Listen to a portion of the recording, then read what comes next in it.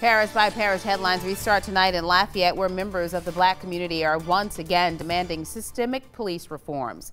Leaders with the Lafayette NAACP say they recognize the strides the Lafayette Police Department has made, but they say LPD and other law enforcement agencies must do more. The pain that our family members are going through is nothing to do with this legal system. It is, however, retribution should be made. Uh, there should be something done to meet the needs of the people. The ongoing practice of police brutality and improper use of force, especially against African American citizens, has got to stop. While we are pleased with the small changes made by Lafayette Police Department use of force policy, we still have a long way to go.